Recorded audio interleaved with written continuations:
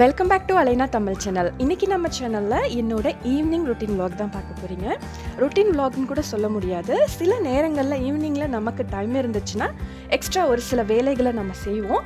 அந்த மாதிரி இன்றைக்கி என்னென்ன எக்ஸ்ட்ராவாக பண்ண அப்படிங்கிறத இந்த வீடியோவில் பார்க்கலாம். ஃபஸ்ட்டு இந்த வீடியோவில் பிளேஜோ எப்படி செய்கிறதுன்னு பார்க்கலாம். கடையில் வாங்குகிற பிளேஜோவில் ப்ரிசர்வேட்டிவ் ஆட் பண்ணியிருப்பாங்க த்ரீ இயர்ஸ் ப்ளஸ்ன்னு போட்டிருப்பாங்க.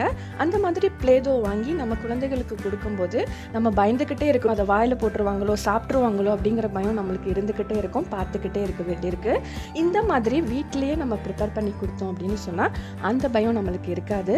ஏன்னா இது வீட்டில் இருக்க சாதாரண பொருட்களை வச்சு தான் இந்த பிளேதோ இன்றைக்கி செய்ய போகிறோம் இந்த மாதிரி பிளேதோ செஞ்சு உங்கள் குழந்தைகளுக்கு கொடுத்தீங்க அப்படின்னு சொன்னால் அவங்க வாயில் வச்சா கூட எந்த பிரச்சனையும் வராது.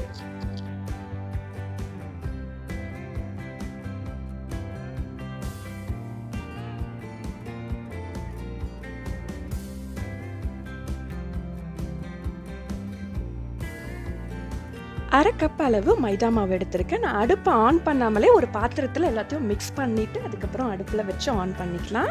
அது கூடவே கால் கப்பில் பாதி அளவு அதாவது ஒன் பை எயிட் கப் வந்து உப்பு எடுத்திருக்கேன். அதையும் அது கூட சேர்த்துக்கலாம். இது கூடவே ஒன்றரை டீஸ்பூன் அளவு வினிகர் சேர்த்துக்கலாம். அடுத்தது ஒன்றரை டீஸ்பூன் அளவு ஆயில் சேர்த்துக்கலாம். மெஷர்மெண்ட்ஸை வந்து கரெக்டாக ஃபாலோ பண்ணிங்கன்னா கரெக்டான பிளேதோ நம்மளுக்கு கிடைக்கும்.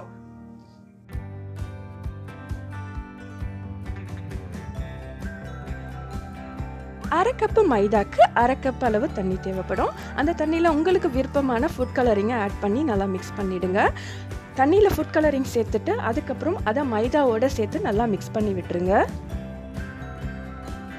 இந்த மாதிரி நல்லா மிக்ஸ் பண்ணிவிட்டு அதுக்கப்புறம் அடுப்பை ஆன் பண்ணுங்கள் மீடியம் ஃப்ளேமில் வச்சுக்கோங்க. நல்லா மிக்ஸ் பண்ணிவிட்டு இப்போ நான் அடுப்பை ஆன் பண்ணிட்டேன். அடுப்பை ஆன் பண்ணிவிட்டு இந்த மாதிரி மிக்ஸ் பண்ணிக்கிட்டே இருங்க. கொஞ்ச நேரம் ஆக ஆக மைதா வந்து கெட்டியாக ஆரம்பிக்கும். அந்த மாதிரி ஆகிற ஸ்டேஜ் வரைக்கும் நல்லா மிக்ஸ் பண்ணிக்கிட்டே இருங்க. ஒரு நிமிஷத்துக்கு அப்புறம் மைதா இந்த மாதிரி திரண்டு வந்துடும் அதுவே ஒட்டாமல் சூப்பராக அழகாக வர ஆரம்பிச்சிடும்.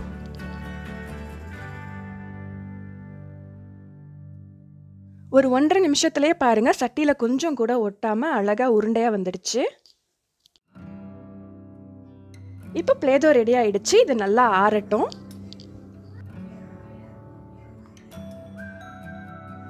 அதே மாதிரி இன்னும் ரெண்டு மூணு கலர்ஸில் நான் பிளேதோ செஞ்சுருக்கேன் பாருங்கள் ஆறுனத்துக்கு அப்புறம் இந்த மாதிரி உருட்டி வச்சிங்கன்னா கடையில் வாங்குற பிளேதோ மாதிரியே சூப்பராக இருக்கும். ஒரு ஏர்டைட் பாக்ஸில் போட்டு மூடி வச்சுக்கலாம். இப்போ சூப்பரான கலர்ஃபுல்லான பிளேதோ நம்மளுக்கு ரெடி ஆயிடுச்சு. என்னோட டாட்டர் ஸ்கூலில் பிக்கப் பண்ண நான் கிளம்பிட்டேன். இன்றைக்கி ஃப்ரான்ஸில் ஸ்னோஃபாலாக இருக்குது நீங்களும் பார்த்து என்ஜாய் பண்ணுங்கள்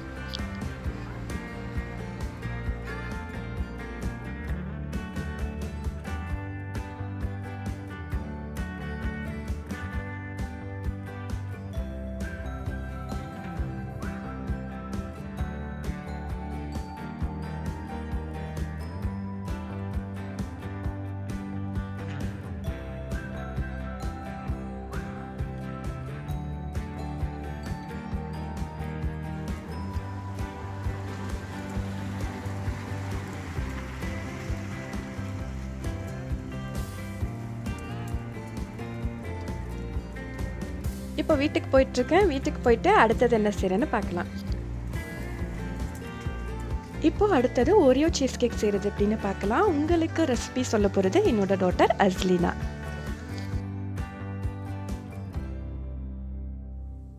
Welcome to Alina Tamil channel I am Azlina. இன்னைக்கு ஓரியோ சீஸ் கேக் செய்யலாம். I take 24 Oreo biscuits.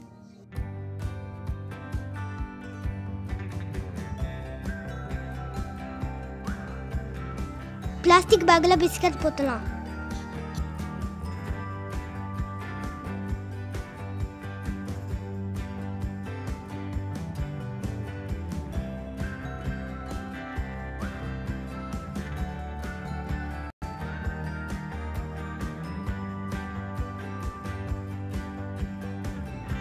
Plastic பேக்கில் பிஸ்கட் போட்டு இப்படி மாதிரி செய்யுங்க.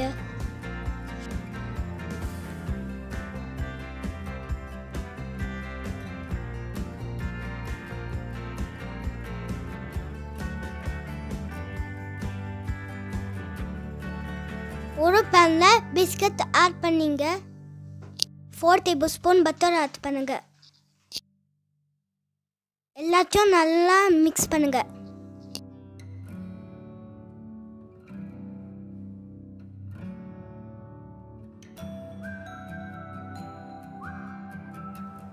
ஒரு கப்பச்சு இந்த மாதிரி செய்யுங்க.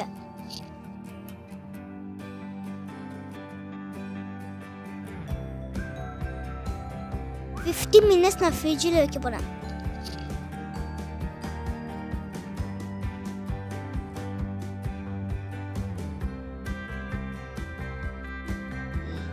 four hundred gram cream cheese போட்டுக்கலாம்.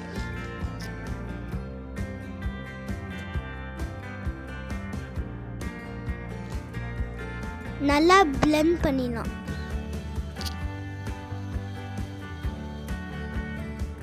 four hundred gram heavy cream போட்டுக்கலாம்.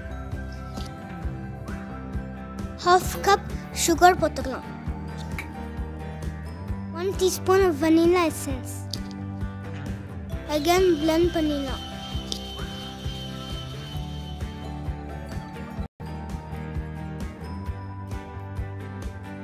ஃபோர் பிஸ்கட்டை உடச்சிட்டு ஆட் பண்ணுங்க.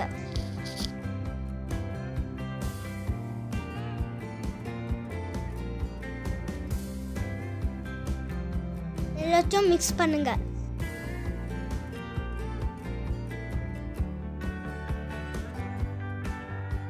க்ரீமை பேனில் ஆட் பண்ணுங்க.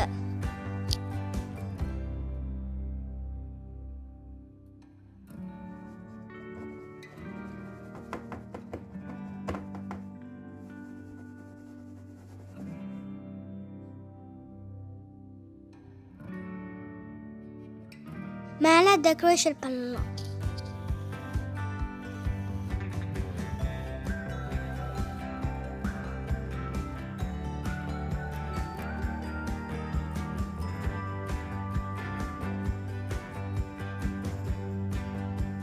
எனக்கு பிடிச்ச மாதிரி நான் டெக்கரேட் பண்ணிக்கிறேன்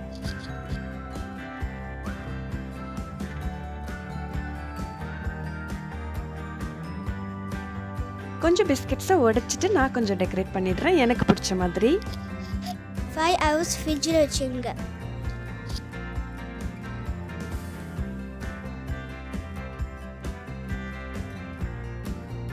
நாளைக்கு சூப்பர் சீஸ் கேக் ரெடியாக இருக்கும் Don't forget to like and share and subscribe to our channel. See you later. Bye. இப்போ என்னோட டின்னர் ஒர்க் ஸ்டார்ட் ஆகுது. இன்றைக்கி டின்னர் என்னன்னு பார்த்தீங்கன்னா ரொம்ப ரொம்ப சிம்பிளான டின்னர் தான். இடியாப்பம். இப்போ நான் தேவையான அளவு இடியாப்ப மாவு எடுத்துக்கிறேன்.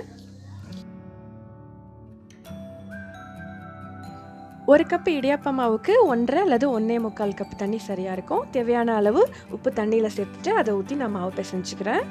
இடியாப்பா மாவு பேக்கெட்டில் என்ன இன்ஸ்ட்ரக்ஷன் போட்டிருக்கோ சுடு தண்ணி அல்லது சாதாரண தண்ணி அப்படின்னு சொல்லி மென்ஷன் பண்ணியிருப்பாங்க. அதுக்கேற்ற மாதிரி ஃபாலோ பண்ணிக்கலாம்.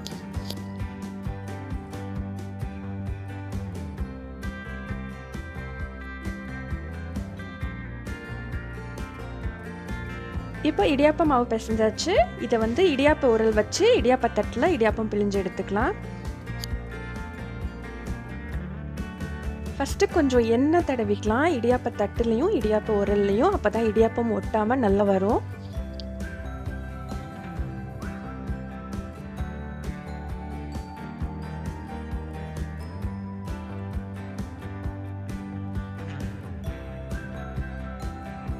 இந்த மாதிரி கொஞ்சம் மாவு எடுத்து உருட்டிட்டு இடியாப்ப உரலில் போட்டுட்டு இப்போ நான் இடியாப்பம் செய்ய போகிறேன் இங்கே வந்து ஒரு இடியாப்ப மாவு கிடைக்கும் ஃப்ரான்ஸ்லேயே தமிழ் க்ரோசரி ஷாப்ஸில் அதில் வந்து சாதாரண தண்ணி சேர்த்து பிசைஞ்சாலே பாருங்கள் சூப்பரான இடியாப்பம் வருது.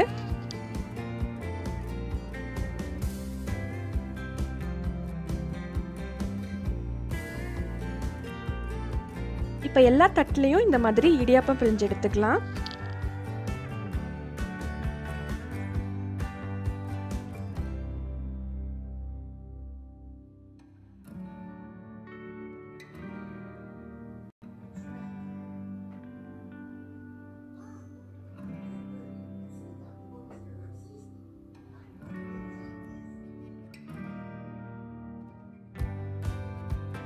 இப்ப இடியாப்பத்தை வேக வைக்க போறேன்.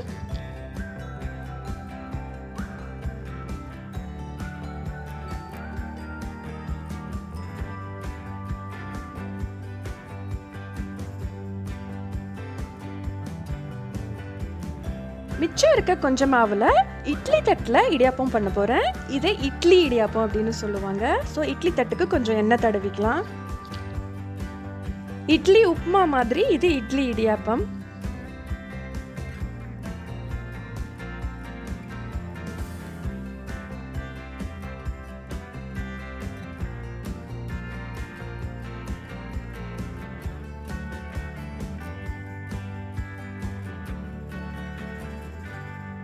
இதையும் இட்லி குக்கர் அல்லது இட்லி பானையில் வச்சு வேக வச்சுக்கலாம்.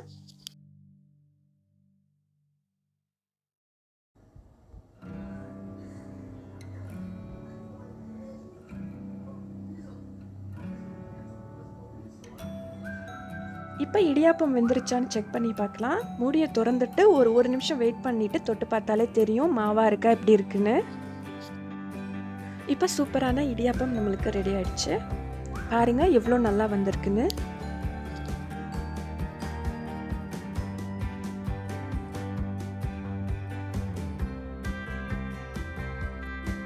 இப்போ அதே ஸ்டீமரில் இட்லி இடியாப்பத்தையும் வேக வச்சு எடுத்துக்கலாம்.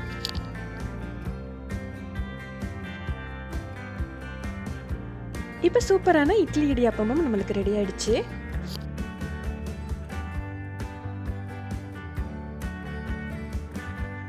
குழந்தைகளுக்கெல்லாம் இது ரொம்பவே பிடிக்கும். சின்ன சைஸில் சூப்பரான இடியாப்பம்.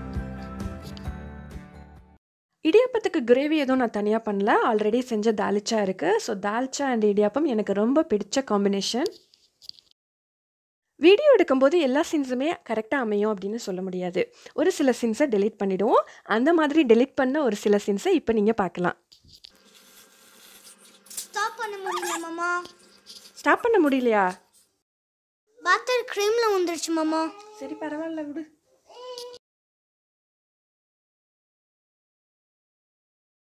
வரமாட்டேங்குது மாமா. வரமாட்டேங்குதா? நல்லா தட்டுமா? எனக்கு தெரியலையே.